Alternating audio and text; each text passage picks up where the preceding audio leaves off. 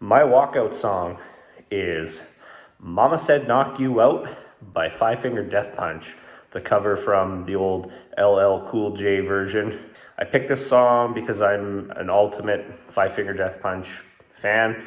Been my favorite band for a long time. Just found it when it came out on one of their albums and just, just vibed with it. This song really fires me up. Uh, my dad always works away and my mom's always in the crowd. So for me, that really hits home for me. It's, you know, really close relationship with my mom and it's, you know, yeah, mama said knock you out. The nickname, the Reaper, that comes from uh, my brother. I've done martial arts since I was six years old, started in karate.